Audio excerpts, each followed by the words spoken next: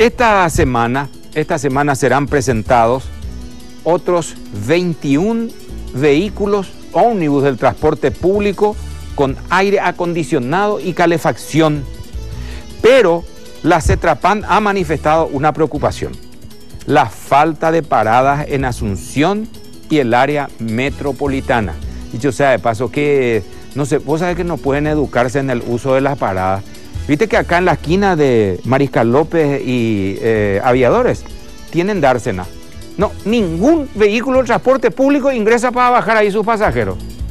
Dejan ahí en la calzada normal y está clarito allí. Ese espacio está al santo cohete. Deberían controlar también eso. Y obligatoriamente. Y educar a los choferes. Y educar a los choferes, no- señores. no para eso se saben. puso ahí.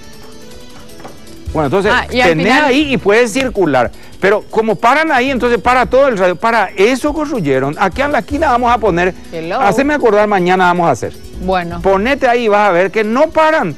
No entran allí, se quedan en el mismo lugar de siempre, dificultando el tránsito. Bueno, el gremio de los empresarios advierte que un colectivo con aire no puede parar cada 100 o 200 metros, como ocurre actualmente, y que lo ideal es que las paradas sean fijadas cada 5 cuadras como mínimo, no cada cuadra.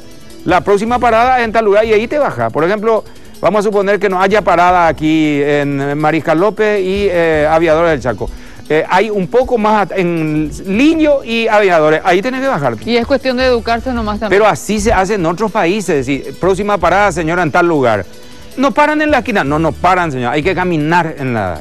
Oscar, y eh, lo- los empresarios al final se dieron porque ellos habían dicho que no iban a eh, sacar todavía los vehículos hasta que el gobierno arreglara las calles y rutas. Pero ahora van a sacar igual. Mira, leo también que el viceministerio del Transporte anuncia, no sé si arreglar las rutas, que tiene que ser parte, es cierto, tiene razón, ¿eh? eres un dipátano. Pero están, dice, hay una licitación, contrataciones públicas, tiene que aprobar para iniciar el llamado a licitación y construir 98 paradas. Es una buena noticia. Es para esperar, ¿cierto? Bueno, ojalá todo mejore. Porque podés tener hermoso transporte, pero calle destruida y no hay paradas. Y los que, las dársenas que existen no se usan. Que no tal.